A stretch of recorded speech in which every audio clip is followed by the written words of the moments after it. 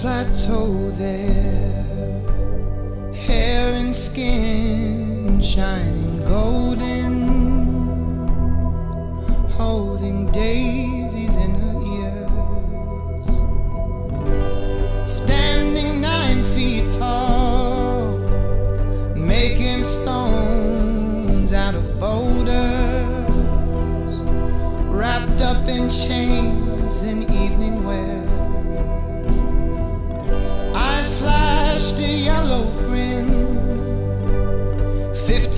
teeth came loose and fell out of it. But she blushed all the same.